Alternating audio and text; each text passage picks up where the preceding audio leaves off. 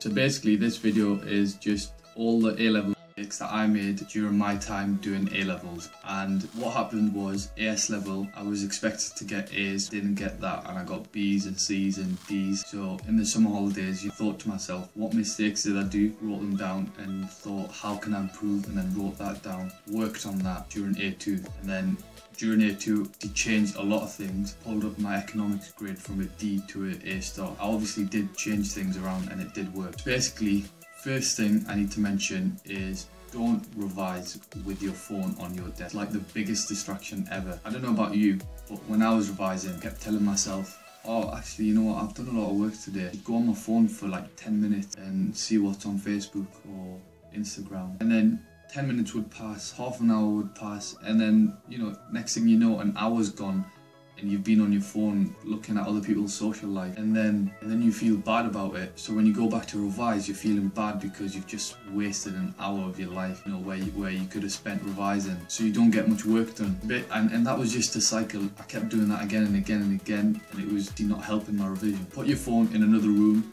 just hide it away into another room or put it in um, a drawer or something, somewhere away from you.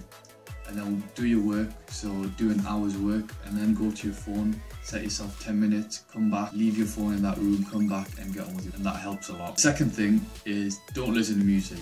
Now that might sound old fashioned, but basically the way it works, if you listen to music with lyrics in, then you start singing along with it or like you start concentrating on the lyric and that sort of shifts your concentration away from your work so fair enough, listen to music, but if you listen to music, then listen to instrumentals or orchestra music. Um, I know it sounds weird, but I used to listen to orchestra music.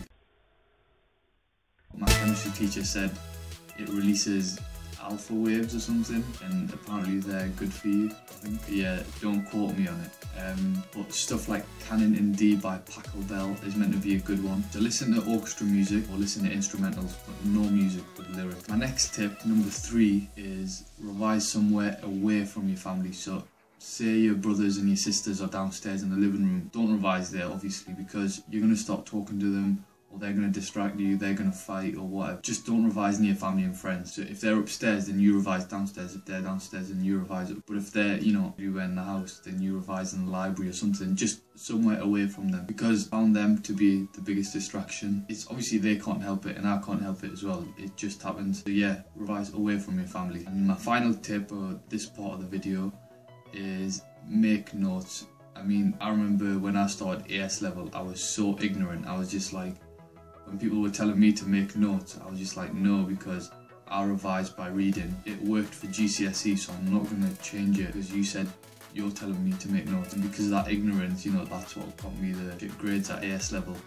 So make sure you make notes on everything, but also make sure you're not lazy with making notes. Don't make notes on like one small chunk and then leave out another chunk because you think it's irrelevant and it won't come up in the exam.